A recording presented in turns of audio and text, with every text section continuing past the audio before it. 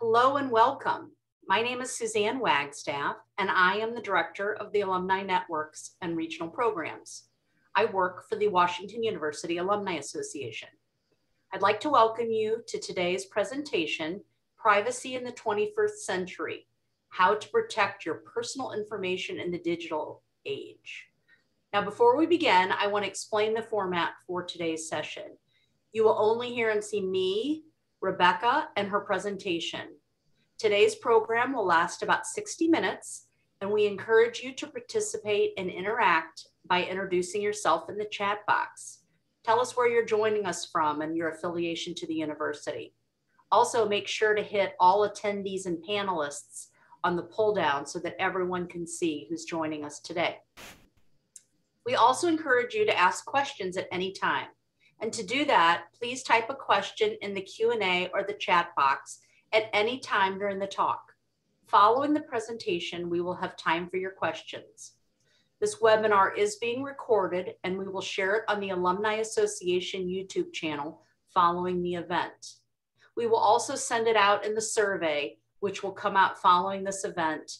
That will have a link to the recording. It is now my pleasure to introduce today's presenter, Rebecca Satin. Rebecca is the Chief Information Officer of World Software Corporation. She was formerly at Mitchell Silber, Silberberg and Knupp LLP for 18 years, where she was the Director of Information Technology. She has more than 30 years of experience in the area of law firm technology. In the last several years, she has spoken to law firms and bar associations about cybersecurity. She's also spoken on various other topics such as design thinking, collaboration, and deployment planning at the International Legal Technology Association conferences, legal tech shows, and other technology forums. She has also served on the advisory boards for LA's City Colleges, Com City Colleges Computer Technology Department and Ithaca College Executive Education Cybersecurity Program. Rebecca is an alumna of Washington University, having received her Bachelor of Arts in 1989 from the School of Arts and Sciences. Rebecca is also a volunteer for the WashU Northern New, Jer New Jersey Network and has helped to plan and run several events in that area. I am thrilled to be doing this presentation tonight or bringing Rebecca to you. Her and I have discussed doing this event for several years, and we are thrilled that we are finally making that a reality. Please join me in welcoming Rebecca Satin. Thanks, Suzanne. And uh, thanks to everybody for, for signing into this. So as Suzanne said, uh, my name is Rebecca Satin. I spent my entire career working in information technology, mostly as a law firm IT director. But for the past five and a half years, I've been chief information officer for World Software Company, a company that makes document management systems that are primarily used by law firms, legal departments, and other professional services firms. So just a small disclaimer before I get started. This picture that you see was taken before the pandemic. So today I'll be speaking about best practices for keeping your personal information safe at home and also when you're working with lawyers, accountants, and healthcare professionals. The smaller the firm, sometimes the harder it is for them to keep up to date on their obligations to keep your information secure but even large firms have this issue. Part of what I want to do today is educate you on what obligations these professionals have in keeping your data safe so that you can demand more of them. And I must admit that this makes me kind of a nightmare client for my lawyer and my accountant and healthcare providers, but I usually warn them up front about what I do for a living. Nevertheless, I've still caught some of them using unsafe practices, but We'll get to that a little bit later. Some of the content at the beginning of this presentation might seem a little bit dry, but as I mentioned, I want all of you to understand the obligations that your service providers have to keep your information safe and secure. So bear with me through that part. These days, it's convenient to keep track of your information digitally and consumer products make it really easy. But there are compromises you make in order to have that convenience. So security often comes at the expense of convenience, but there has to be a balance. If it's too difficult to do something that might be more secure, people might not do it. That's the job of software companies and IT people to make things both secure and easy to use. Software and hardware products in and of themselves often can be set up in a secure fashion, but they're not necessarily set that way by default. A good example that I'll come back to later is the internet equipment that you get from your service provider at home. Additionally, systems are only as secure as their weakest link. So setting up a system securely, but then making an exception for one person, say the, CI, the CEO or the president, leaves that person as the weakest link and leaves the whole system vulnerable. This holds true of IT personnel too. If the account they use to log into a system and check email has permissions to do anything on the system, then one click on the wrong thing could leave the entire system compromised. In the last 50 years, there have been many regulations enacted pertaining to an alphabet soup of sensitive information. I'm not going to go over all of these, but I want to go over a few that are particularly important. Two more recent regulations to come out are GDPR, the General Data Protection Rule, and CCPA, the California Consumer Privacy Act. They both pertain to data privacy. GDPR contains guidelines for the collection and processing of personal, personal information for individuals within the European Union, but it also covers the rights of that individual to control that information and the methods that must be imposed on storing and processing that data. This includes the right to be forgotten. Once a company no longer requires your information, you have the right to request that it be deleted from their systems. CCPA is very similar to GDPR in that it pertains to privacy, but it actually has a broader scope of what data is protected and includes any information that can identify a household rather than just an individual. So here's the thing whenever you provide your personal information to a company, that's one more chance that it can be compromised. So the first one that I want to talk about is Gramm-Leach-Bliley. Uh, this act became law in 1999. It requires financial institutions to secure non-public personal information, or NPI, and to annually let customers know how this information is used. You might notice that your banks and credit card companies send you information annually about this. So make sure that you read these disclosures. They actually have to provide you with the ability to opt out of having your information shared. But unfortunately, this, this puts the responsibility on you to take action. If you don't send back the opt out notice, they're going to share your information. Sarbanes-Oxley or SOX regulation was written in response to Enron, WorldCom, and Tyco. In those situations, those companies' submissions to the SEC did not reflect what was really going on within the company. It also made the board of directors of publicly held companies directly responsible for management of risk, along with outside auditors. While SOX was written more to provide oversight into all kinds of risks, the risks involved in storing sensitive information, uh, that's one of them. So because of SOX, the board of directors of public companies are now directly responsible for managing those risks and maintaining the security of our data. Now, HIPAA, the Health Insurance Portability and Accountability Act, uh, this basically makes all of your healthcare providers, including pharmacies, insurance, and insurance companies, they're required to comply with this. Um, this this law actually involves yet another acronym, PHI or Protected Health Information. Not only are these healthcare providers and insurers responsible for protecting your health information, but so are what's called their business associates. This includes their lawyers and any other third party provider who might come into contact with your protected health information. You might have noticed that doctors and dentists have included social security numbers on their intake forms, my suspicion is that this might be a holdover from when insurance companies used social security numbers as ID numbers. In fact, I think I remember, I don't know, I might be wrong. It was either college or someplace else where like an ID used my social security number. Maybe it was a driver's license number in one state, uh, but they don't do that anymore, thankfully. Anyway, uh, doctors do not need your social security number for anything. So just because they have that on their intake form doesn't mean that you have to share it. Just leave that field blank in the form.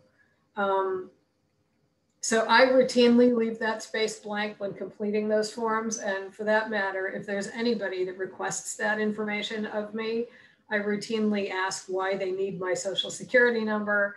And if they can't give me a reasonable explanation, I don't include it. Only the IRS really needs that or your accountant for your tax forms. So I have several examples of situations in my life where I identified risks to my personal information. At my dentist's office several years ago, um, they were taking x-rays and it was a new enough office that the x-rays, they would take the x-ray and then they would appear up on a monitor to, to the right of me so that everybody could see the x-ray. Well, I looked over at the monitor and I noticed that they were using Windows XP. And at the time, Windows XP had already reached end of life a year or two before that, which means that Microsoft is no longer providing security updates for it. So basically it left, it left any Windows XP system vulnerable to any sort of uh, attack because they weren't putting security updates out for it anymore. So I talked to the people at the dentist's office and the people that I talked to didn't seem particularly concerned, but the next time I went to the dentist's office, I didn't see Windows XP anymore. Another in instance that makes me uncomfortable is when at the pharmacy, they ask for your date of birth when they're looking for your prescription. Now, I completely get that, you know, especially if, you know, my, my husband's name is Bob Price. So a very common name. There might be, you know, 20 Bob Prices that are all getting their prescriptions filled at the same pharmacy. So I get that they need that information to make sure that they have the right person. But I just don't like having to tell it to them to where the other people that are standing nearby might be able to hear it. So uh, I usually will just either write it down or I'll show them you know, my driver's license that has that information on it or something so that that way I don't have to say it out loud where anybody can hear it. Now, law firms don't have to comply with many of these regulations because they're private companies. But if their clients, if the clients that they represent demand that they comply, then that's when a lot of law firms start to put in more security. But even if their clients aren't demanding it at this point, they still have to comply with the ABA model rules and also any state or local bar rules. So back in 2012, there were some comments that were added to rules 1.1 pertaining to competence and 1.6 pertaining to confidentiality of information. The comment that was added to Rule 1.1 stated that lawyers need to understand the benefits and the risks associated with the technology that they use in their practice. Um, this sounds pretty minor, but essentially it means they can't just think, oh yeah, Dropbox, that's really cool. I'm gonna use that. They have to actually understand what risks might be involved in using Dropbox before they use it. In Rule 1.6, the comment that was added indicated that lawyers must make reasonable efforts to prevent access or disclosure of confidential information. The legal technology community was actually quite disappointed at the time that this was so vague. But I mean, I agreed that it was vague, but I kind of thought that part of the reason that they did that was so that it would address firms of any size. If they were too specific, then the large firms then that, then they might say something that only addressed large firms or only addressed small firms. But uh, anyway, they ended up changing their guidance a little bit later. In May of 2017, they provided updated guidance regarding the confidentiality of client electronic communication in Formal Opinion 477R. It states that it's not always reasonable to rely on the use of unencrypted email. So ultimately, if you're communicating with your lawyer using unencrypted email, this does not actually provide you with an expectation of privacy. Any document containing personally identifiable information, like a will or a trust or anything else that might be considered to be confidential, should be encrypted in transit. You might also consider that if you use a free email account, it might be crawled for advertising purposes, which I've heard some lawyers uh, comment that that might affect privilege. Rule 1.6 also indicates that there's a responsibility to do an ongoing risk assessment. So as technology changes with each new product that they consider adopting, they have to do an additional risk assessment before adopting a new product or a new process. Uh, so it's taken quite a while. I mean, we've we've been this pandemic has been going on since March of 2020, but it took until March of this year for the ABA to update their guidance regarding the virtual practice of law. They re-emphasized rules 1.1, 1.3, and 1.4, which pertain to competence, diligence, and communication, as these functions can be more challenging when practicing virtually. They also re-emphasized the guidance provided in formal opinion 477R with regard to encryption of, communica of communications to clients. They added an important component pertaining to rules 5.1 and 5.3 because the supervision of other lawyers and non-lawyers becomes more difficult with a virtual practice. Practicing virtually doesn't change or diminish this responsibility. The duty to supervise extends to those outside of the law firm. So in 2012, the FBI actually met with some of the largest law firms in the country to warn them that they're actually a target for hackers. They actually characterized them as the soft underbelly, meaning that they were an easy target because classically they didn't have as much security in place as their clients, yet they stored data for many of their clients. Why hack into a big corporation when you can hack into their law firm and get data for many corporations? So in fact, there was actually there was actually a movie made that's available on Netflix called The Laundromat with Gary Oldman, Antonio Banderas, and Meryl Streep about the Panama Papers data breach. This, this breach occurred in 2016. It involved the Panama City law firm Mossack Fonseca, who were experts at helping the rich and powerful hide their assets in offshore shell companies. I highly recommend the movie if you're interested. So ransomware. For those who don't know, a ransomware attack is when your data is encrypted by hackers who request a ransom in order to restore access to the data.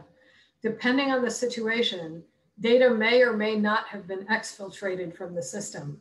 In an exfiltration situation, depending on the data stolen, a company may have breach notification requirements and of course, from what we've already learned, public companies and banks have additional regulatory requirements when it comes to the protection and security of their clients' data.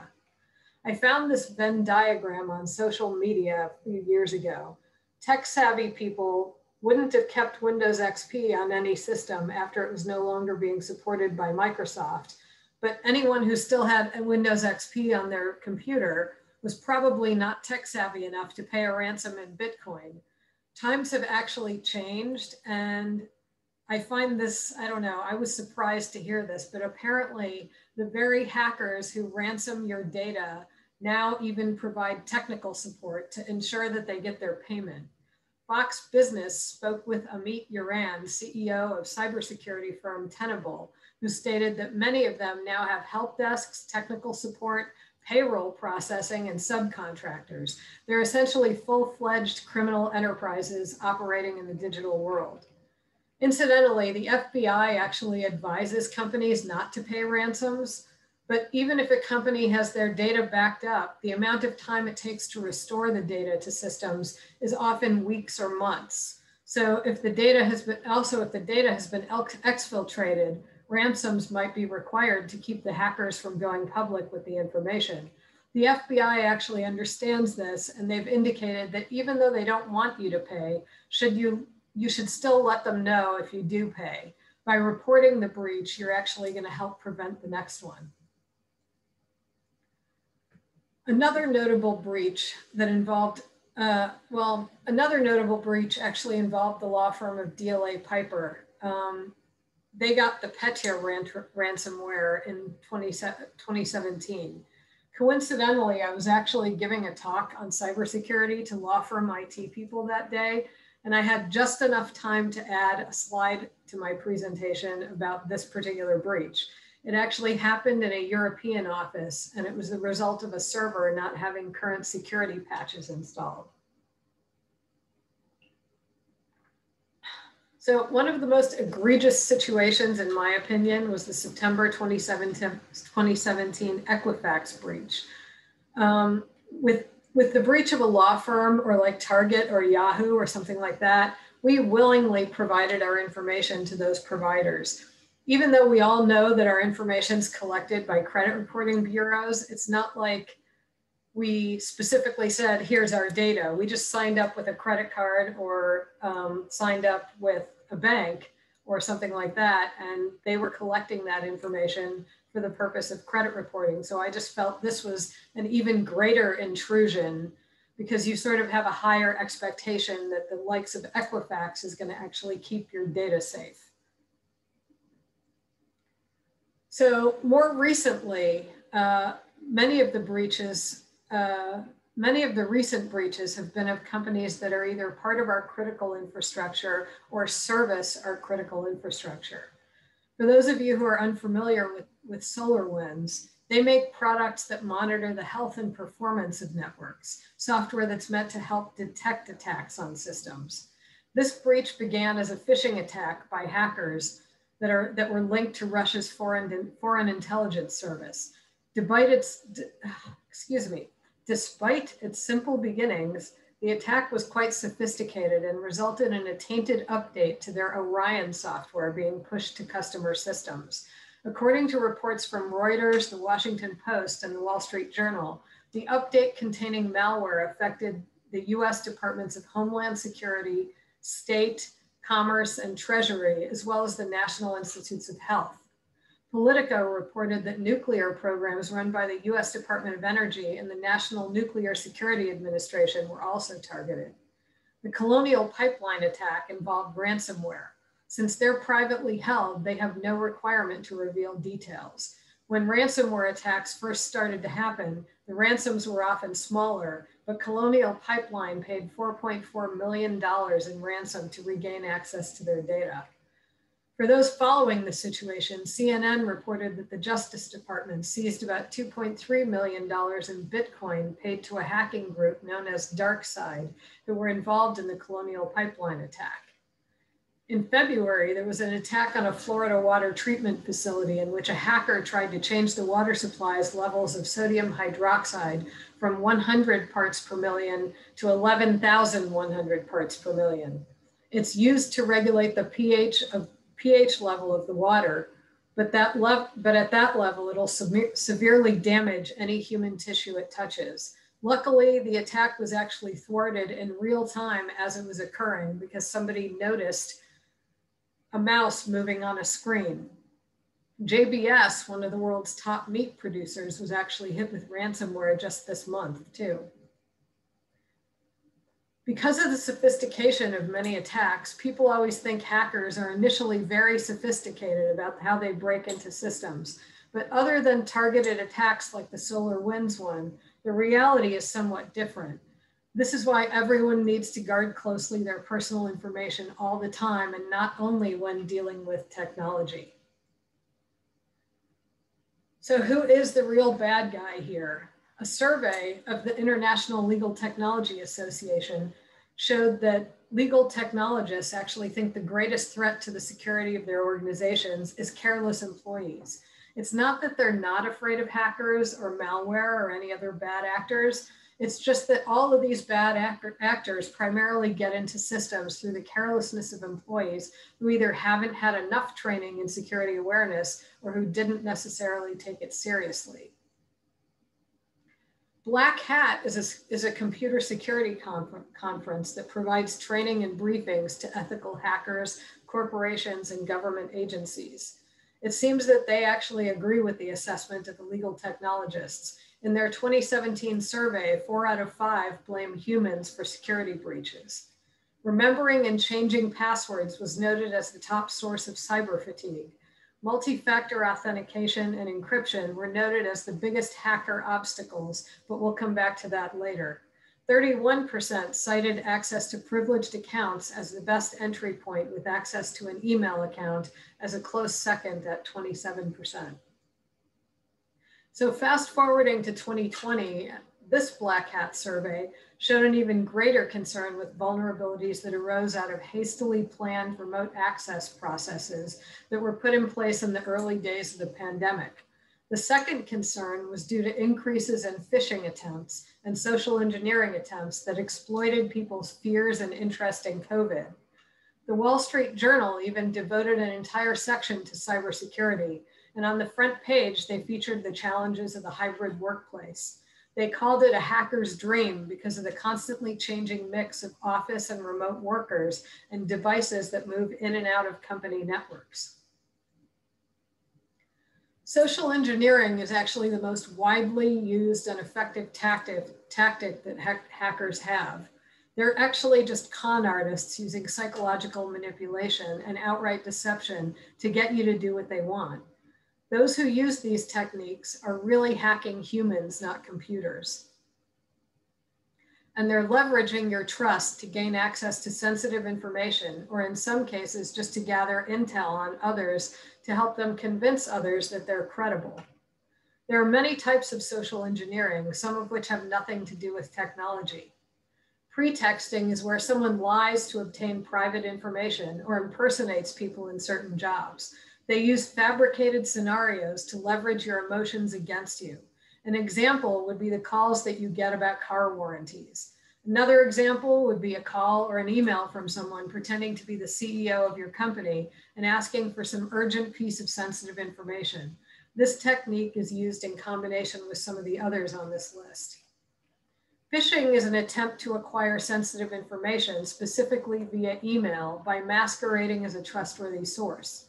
Phishing is the number one way that bad actors can gain access to sensitive data and the number one vector for ransomware attacks. A phishing attempt may look like a legitimate email message, but it might include language that sounds like it's urgent, that you take some kind of action, like clicking on a link or opening an attachment. Spear phishing targets specific people or organizations by including information about their company or employees within the email. These emails can contain unrealistic promises or threats and usually convey some urgency. Whale phishing is a specific spear phishing attack that targets CEOs in particular. We make spear phishing easier when we don't set our privacy information on social media so that only people we know can see our information. The more people can find out about you online, the more information they can use in spear phishing attacks. This online information can be used in all types of social engineering. Smishing and vishing are similar to phishing, only these messages come to you via text message or SMS, hence the name smishing, or via telephone or voice, hence the name vishing. An example is if you've ever received a text indicating that your account is locked until you click on a link. Another example is when you get a message indicating that you've won something or have a gift card to redeem. These can come via email, text, or voice call. The latter usually comes from an automated system, but sometimes also from a live person calling and asking for your information. Tailgating is another non-technological technique. Someone's tailgating you. Uh, someone's tailgating when you use a key card or credentials to get into a door or an elevator and someone actually comes with you right behind you. Piggybacking is similar, but in this case, you knowingly let someone into a physical location or an online account. You should never allow anyone to use your credentials to gain access to anything. Even when employees are approaching a door that requires keycard access, it's always best if each individual employee swipes their own card and lets themselves in. Often hackers will also leave USB devices in places like parking lots or on the floor of an office building. They're counting on our curiosity to get the better of us. These devices can be loaded with malware. This is one of the reasons that many companies block the use of USB devices on computers within their organizations. While we're on the subject of USB devices, I have another point to make. Your cell phone uses a USB connection for two purposes. It uses it to charge itself and also to synchronize data. It's the latter that gives me cause for concern. When you go to public places that have charging stations, it's possible for data to be extracted from your device if the ports are set up for data as well as for charging. There are charging cables and USB devices available that block the data transmission. So that way you don't need to worry about that. If you only have the cable that came with your device, consider getting another one to use if you frequently need to charge your device in public locations. The last method on this list is dumpster diving.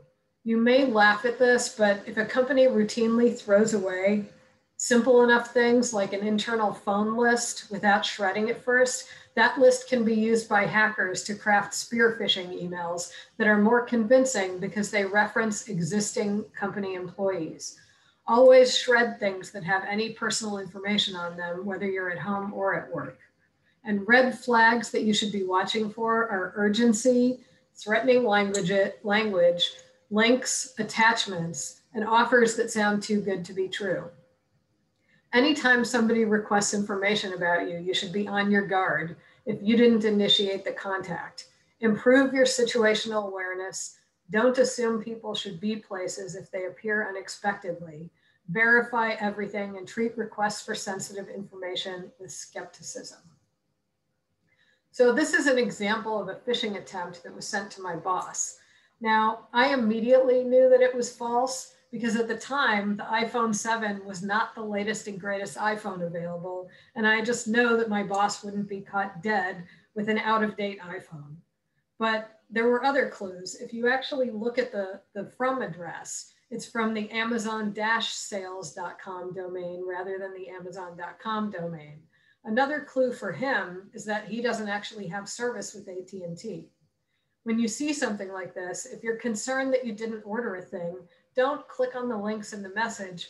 Just open up a browser and go straight to your Amazon account and look at your recent orders. In fact, never click on the links in emails unless they're emails you expect. Like if your lawyer or a friend of yours says, oh, I'm gonna send you a link to this, then fine, click on it. But if you get anything unexpected, whether it's from your bank or from Amazon or anything, it's always better to just go directly to the website. Like if it's from your bank, go to the bank website and then just log in and find whatever it is that you need from there instead of clicking on the link in the email. If you get something from somebody that you know or someplace that doesn't have a website that you can go to, just call them. That's definitely much easier than having to deal with the aftermath of clicking on the wrong thing. So now that I've explained some of the things, some of the risks that we have to our personal information, what can we do about them? Since the Wall Street Journal dedicated an entire section to it, and even the ABA released a formal opinion about working remotely, I thought I'd start by discussing this a little bit further. As people had to quickly pivot to working remotely, they might not have initially set up appropriate work areas. For any professional service situation, like lawyers or accountants, uh, client related meetings and information should not be overheard or seen by others in the household or any other remote work location either. This was always true, but because of the urgent need to immediately work remotely that started in March of 2020, many may not have had time to plan for it. Anyone not assisting with the representation should never be in a position to overhear conversations to avoid jeopardizing confidentiality.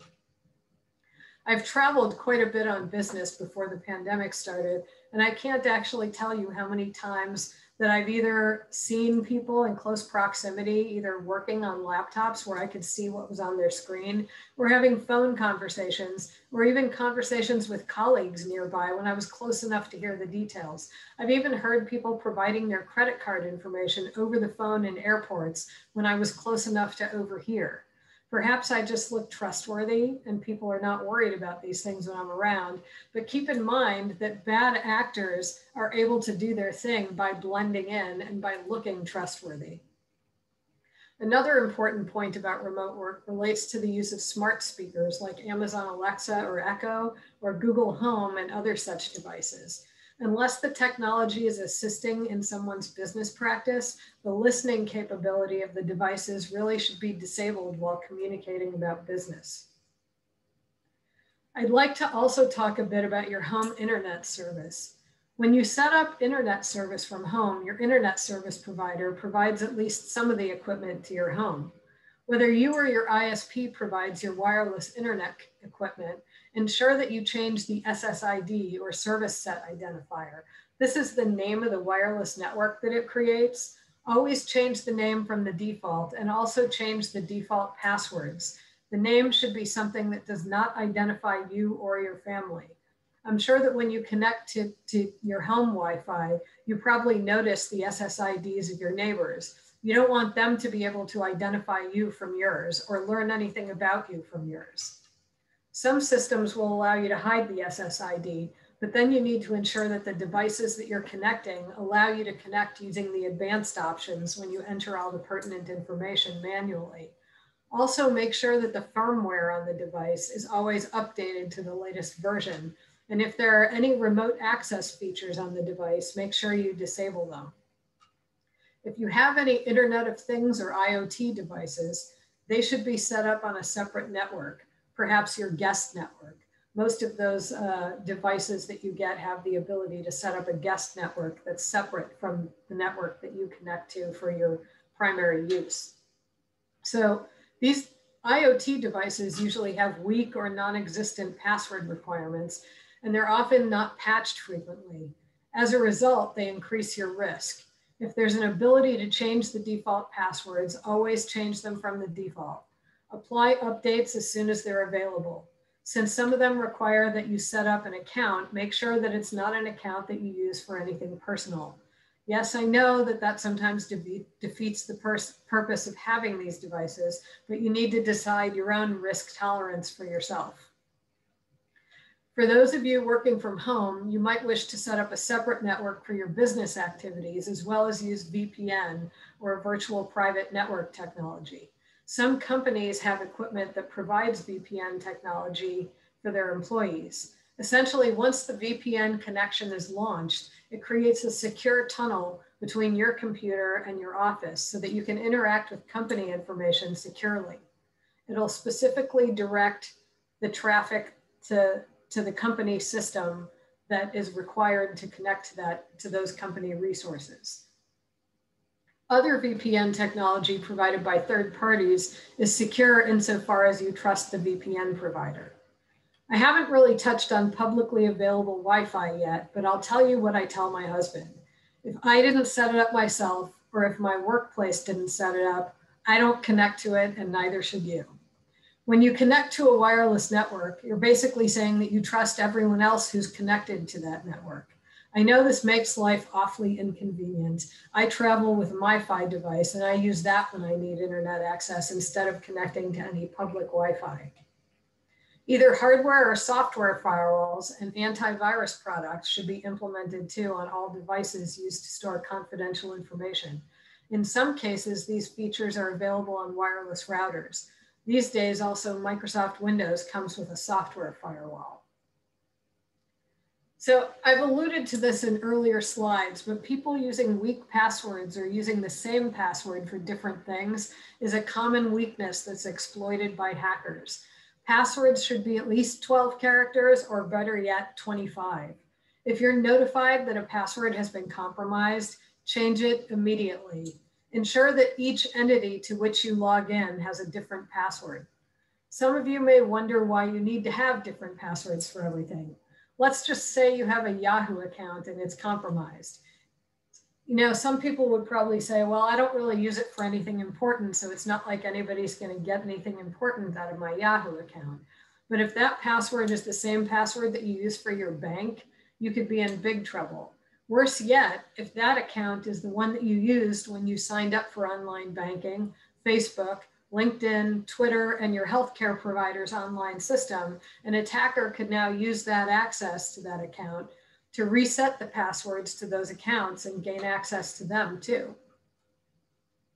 If you're still not convinced, in the 2018 Black Hat Hacker Survey, they indicated that they exploit reused passwords more than any other method of gaining access to sensitive information. Now, back in the day, the National Institute of Standards and Technology, or NIST, recommended that we create complex passwords by using a combination of uppercase, lowercase, numbers, and symbols. Well, it turns out that we're actually not that creative.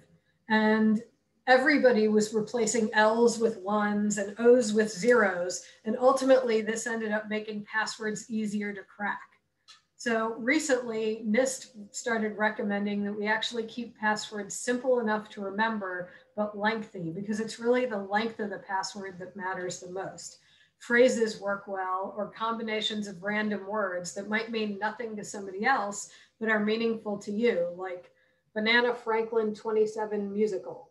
Again, having passwords that are long is really the best thing. They also no longer recommend that passwords be changed frequently unless you learn that one may have been compromised. I would still recommend changing them at least every six months because often there are breaches that we don't find out about until you know months or years later. I know that many people asked about password managers. Because of the number of passwords we have to remember, I do recommend using a password manager. As with all products, though, I believe that you get what you pay for, so I wouldn't necessarily use a free one. A related topic is multi-factor authentication. As noted in the Black Hat Hacker Survey, multi-factor authentication is actually one of the best ways to protect your accounts from being compromised. Multi-factor authentication means that you use a combination of something you know, like a password, excuse me, with something that you have, like a text message or a one-time passcode, or something that you are, like a fingerprint or facial recognition. If any of your accounts offer this service, turn it on immediately. It's the best way to combat a password breach. Even if somebody has your password, when they try to authenticate, they won't be able to unless they have your cell phone, passcode generator, or, well, I don't really want to get into fingerprints. So most of the free email accounts like Gmail or Yahoo offer this, as does Facebook, LinkedIn, and Twitter. For those of you using Microsoft products, Microsoft 365 and Azure both offer multi-factor authentication. I touched on this earlier when I mentioned email in the context of law firms and their ethical responsibilities. Think of an email like you do a postcard. When you send a postcard through, through the mail, Others are probably not going to look at it, but if they wanted to, they could. It's kind of the same with unencrypted email. Never send sensitive information in, in an unencrypted email ever. Additionally, if you're using free products for email or file sharing, you don't actually have any guarantee that your data is not being crawled for advertising or that it's even stored solely in this country. Business grade products usually allow you to specify the storage country and they have other privacy guarantees. If your lawyer or doctor or accountant has a specialized system for transferring information, make sure that you use those systems. If they're using free versions, then this is the time to question them about it and refuse to use those services. My accountant many years ago asked me if he could email me my tax return. I refused and made him put it in the mail. At the time, he told me that his other clients, who were lawyers and doctors, didn't seem to mind. I gave him a long lecture about this that resulted in him being an early adopter of an encrypted file sharing product. People think of these things as inconvenient, but if your lawyers and accountants are using these products, it's because they care about you and the security of your information. File sharing products should also always be set up such that a password is required to access the data rather than just clicking on a link. If the link falls into the wrong hands, excuse me, like if somebody gets into your email and sees an email that's got a link to get to some you know sensitive information they'll just be able to get directly to that information by clicking on that link. So if you're using a file sharing product make sure that you always set it up so that the recipient has to enter a password before they can get to the data So least privilege is a concept I discuss with law firms, but it's actually applicable to everyone. It's another name for what people are now calling zero trust. Law firms often set up their internal work product such that everyone in the firm can access it. This is so they can search their system to find, find out things like whether or not anyone at the firm has ever appeared before a particular judge or if they're looking for a particular precedent that's used in a certain situation. But depending on the sensitivity of the work product or the size of the firm, this might be accessible, or, ex, excuse me, acceptable. Like if it's a firm of only a couple of people, then yeah, they're going to share the information. If it's a larger firm, then they might then they might want to uh, set it up so that only the people who are required to see that information to represent the client can actually access it. This strategy can actually also be employed at home to ensure that kids that are on the same network as parents are either working from parents that are working from home or just handling their personal finances don't have access to the most sensitive information. The sensitive information should be protected so that it can only be, be accessed by those who need it. Setting up separate networks at home is one way to ensure this. Family members should never access home computer equipment using the same accounts as other family members for this same reason. Accounts should be set up so that only, the, only that person can access the data that's within his account. Even if malware gets onto a system, if separate accounts are used, then not all the data, data on the system will be compromised. So I just touched on this, but whether at home or at business, it's best it's a best practice and required for compliance with regulations that everybody have a unique user account. I've seen business situations where all employees who sit at, at the reception desk will use like a reception account. Uh, if you're required to comply with HIPAA or, or any of these other regulations, this is a major no-no and it's just in general a bad security practice. It's not so much that IT people, IT people are trying to see who to blame for a breach, but if something happens, it's really vital to track down the source of a breach to know where it came from. And it's also necessary when you're trying to eradicate it. Further to this, anyone who requires privileged access to systems should not should should have more than one account. IT people are not immune from falling victim to hackers. In fact, since they're sometimes awakened to deal with tech emergencies in the middle of the night, basically nobody really does their best work when they're awakened out of a dead sleep. And I wouldn't want to be put in a position where, you know, my account has privileged access and maybe I'll click on the wrong thing because I was awakened in the middle of the night to deal with something. So it's best to have a secondary account that you can use when you need to have your privileges elevated to do something. Encryption is critical in keeping your data safe, especially when it comes to portable devices. Cell phones did not used to be encrypted by default. With Apple devices, the act of adding a password to the, to the device would encrypt it. Older Android devices used to require going into the settings to encrypt the device. Newer Androids have encryption turned on by default. When it comes to laptops, Windows 10 has three versions, Home, Pro, and Enterprise. All three offer encryption options, but the Home version only offers hardware encryption and only if your hardware supports it. Certain Mac models come with encryption on by default, but for those that don't, File Vault can be used to encrypt data. Should these devices be lost or stolen, encryption will protect your data, provided your password is also strong enough.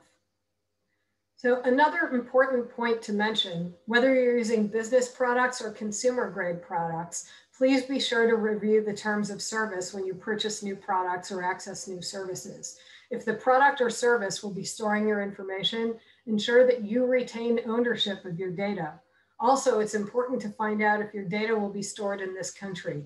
Even if your primary data is stored within this country, are the backups of that data, if they exist, also stored in the country? Review the onboarding and offboarding procedures as well and any requirements for any cloud product. Some vendors charge quite a bit to get your data back out of their systems should you decide to switch to a different product.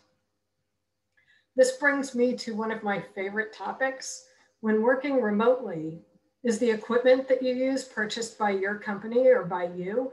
If you're a small business owner, you might consider the types of products you use. If you're having people use their personal equipment to access business systems, uh, or if you then if you use pri primarily cloud products, do those products require that any data be downloaded in order to work with it? Even if it doesn't, does it allow the export or download of any of the data? This is a risk in that businesses have no control over personal devices and how diligent people are with patching their systems or antivirus products, or even who has access to the machine. An alternative for those employees with personal systems is having them remotely connect to their PCs at the office or connect to a hosted desktop. Systems like these allow company data to stay on co company systems. Actually, the recent formal opinion about the virtual law firm covered this to an extent. It indicated that client related information should never be accessible by family members and that devices should be encrypted and set up so, they, so that they can be remotely wiped.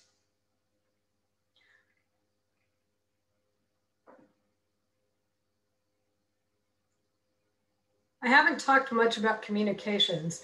Remote work actually brought greater challenges when it came to communicating with colleagues, subordinates, and clients, not to mention teachers and students.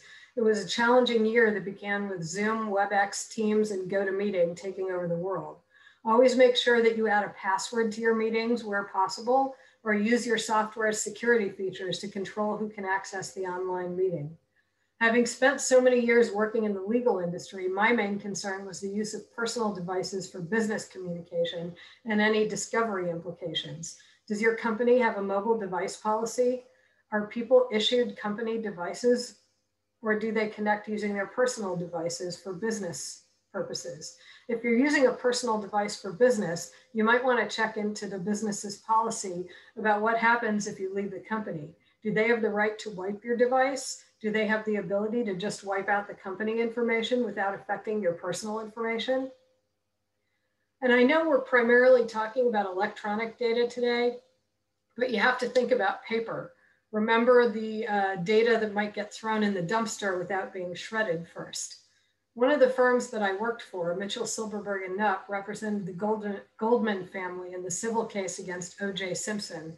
We actually put in a key card system at that time so that uh, anyone who worked for the firm could get to any of the floors in the building, but people who didn't work for the firm could only get to the floor that had the reception desk on it. At the time, our concern was that members of the press might get in and try to gain access to information.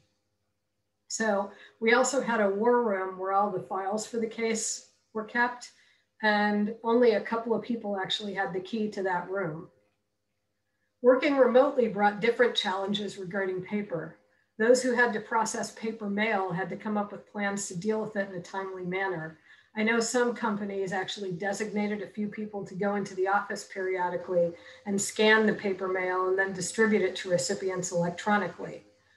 For companies who received checks in the mail, they had to plan for someone to come in and process them. So I'd like to also reiterate the need to store paper containing sensitive information securely and shred it when it's no longer needed. Another topic related to this is what's called the clean desk policy.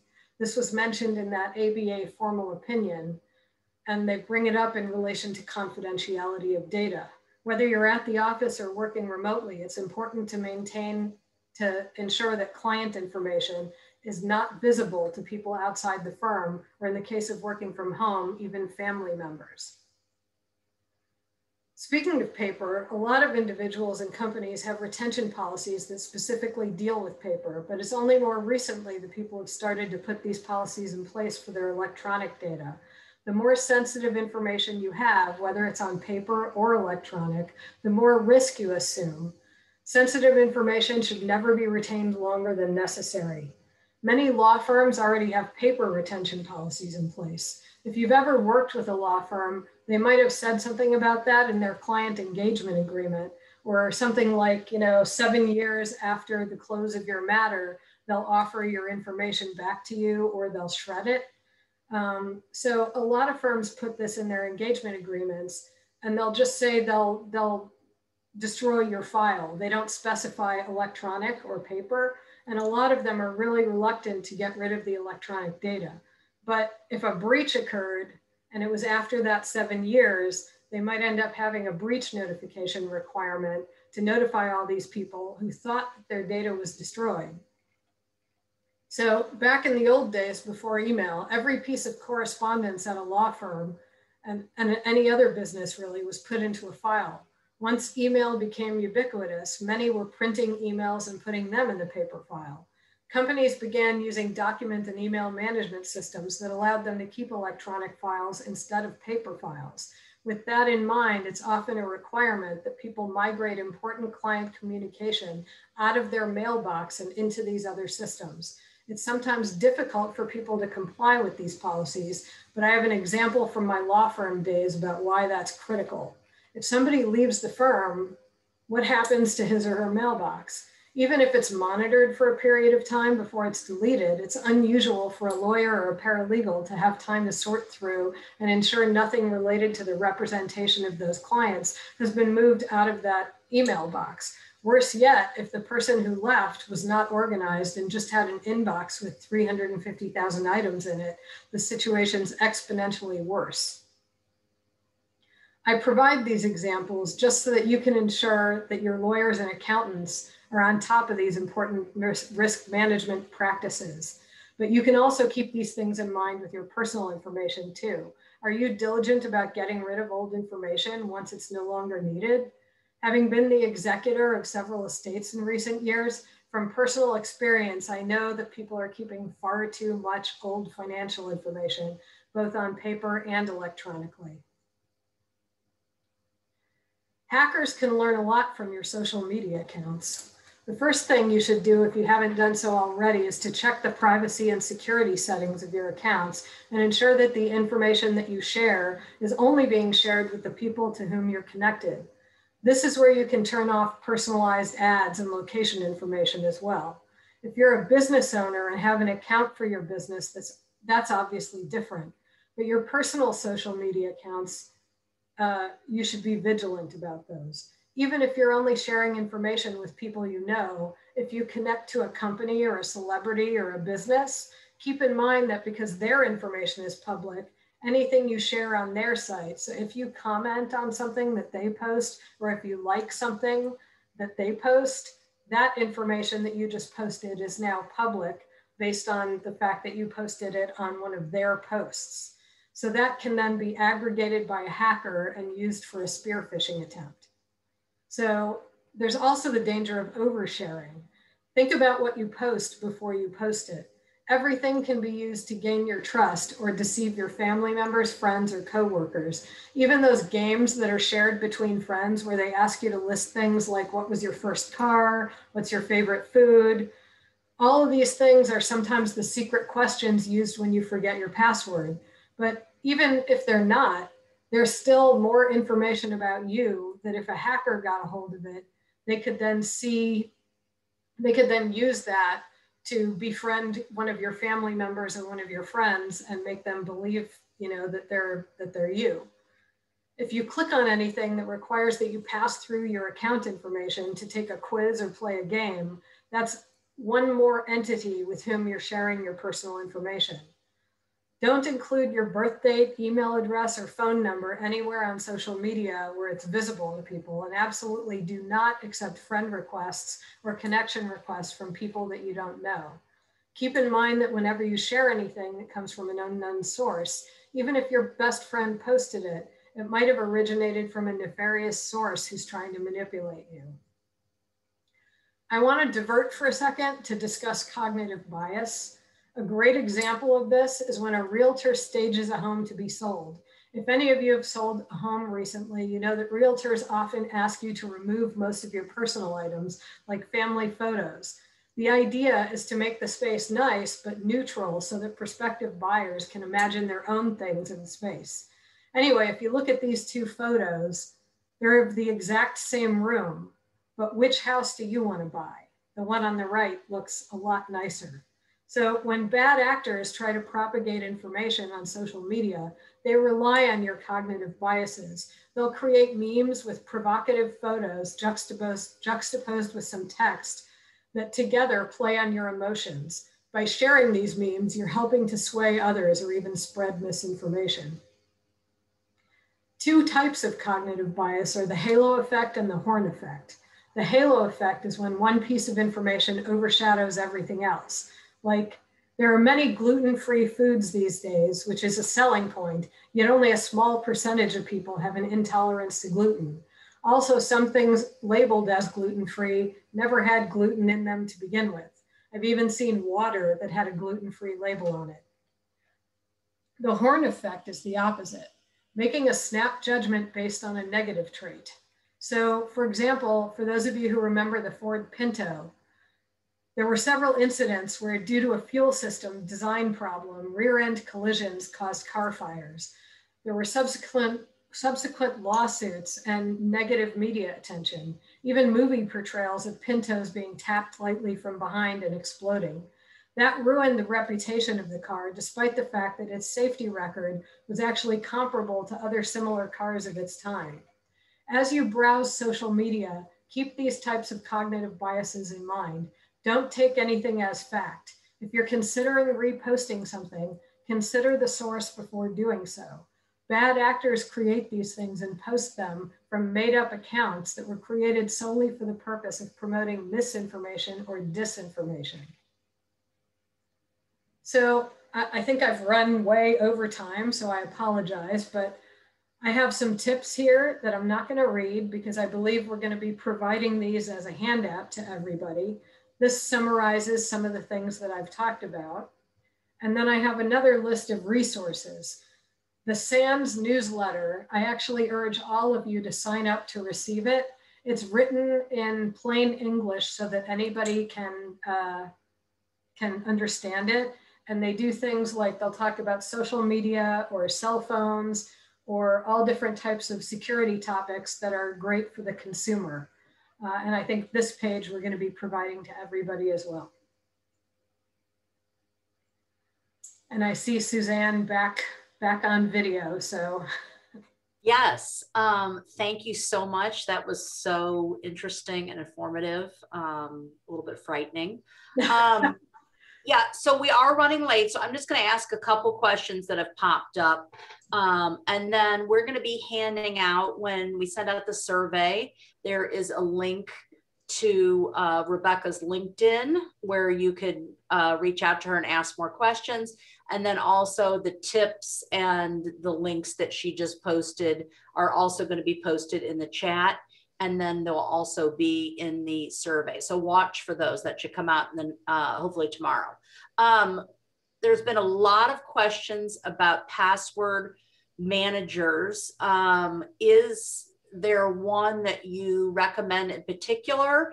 And are those password manager applications or whatever, are they vulnerable to hackers?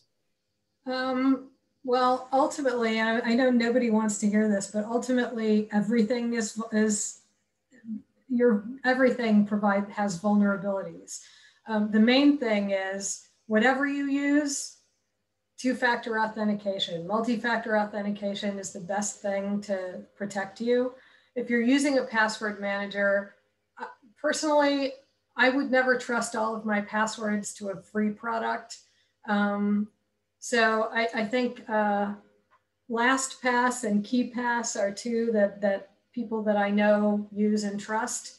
Um, and again, uh, you know, multi-factor authentication really to me is the most important thing.